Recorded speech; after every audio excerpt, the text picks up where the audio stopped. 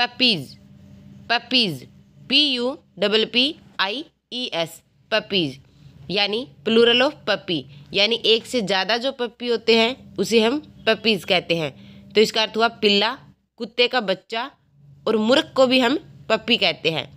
इसको इन सेंटेंसेस में थोड़ा और अच्छे से क्लियर कर लेते हैं। जैसे puppies are naturally curious puppies are naturally curious, यानी कि पिल्ले स्वाभाविक रूप से जिज्ञासु होते हैं।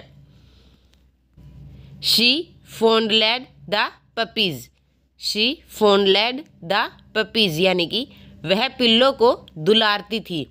Puppies are naturally affectionate and excitable puppies are naturally affectionate and excitable यानी कि पिल्ले स्वाभाविक रूप से स्नेही और उत्तेजक होते हैं।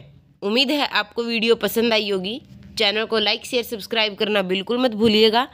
अपनी इंग्लिश को और ज़्यादा बेहतर बनाने के लिए चैनल के होम पेज पर हज़ारों वीडियो हैं, जिन्हें जाकर आप देख सकते हैं।